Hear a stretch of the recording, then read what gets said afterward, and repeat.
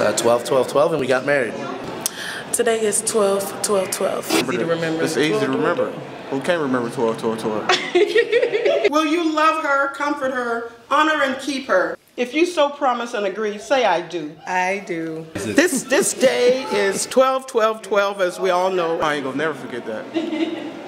And it's a very happy day at the Milwaukee County Court to see so many families, the witnesses, the brides and the grooms making a commitment to each other.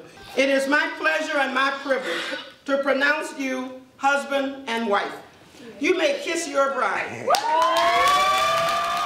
Yeah, we started dating in 7707. Um, so five years, five months, five days later, 12, 12, 12 seemed like a good day to get hitched. it's special to her and it's special to me as well. Something we'll always treasure. Our grandkids, everybody will be talking about it for years to come. To pronounce you husband and wife. You may kiss your bride.